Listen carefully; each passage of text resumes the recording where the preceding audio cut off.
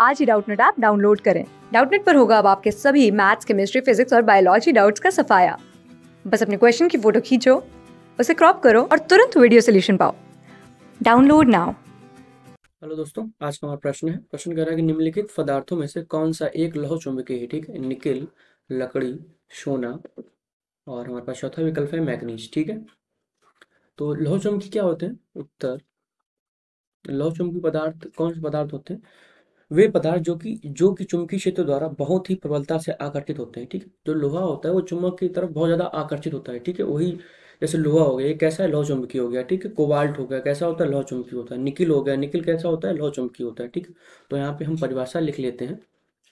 तो वे पदार्थ वे पदार्थ वे पदार्थ वे पदार्थ वे पदार्थ वे पदार्थ जो, वे पदार्थ जो कि चुंबकीय वे पदार्थ जो कि चुंबकीय क्षेत्र द्वारा, चुंबकीय क्षेत्र द्वारा, चुंबकीय क्षेत्र द्वारा बहुत ही प्रबलता से, बहुत ही प्रबलता,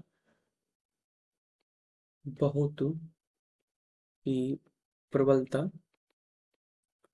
प्रबलता, बहुत ही प्रबलता से आकर्षित होते हैं, से आकर्षित आकर्षित होते हैं। होते हैं, ठीक है। तो यहाँ पे हमारे पास अगर एग्ज़ाम्पल की बात करें, उदाहरण की बात करें तो हमारे पास लोचुम्बक पदार्थ होते थे, वे पदार्थ जो चुंबकीय क्षेत्र द्वारा बहुत ही प्रबलता से आकर्षित होते हैं, ठीक है।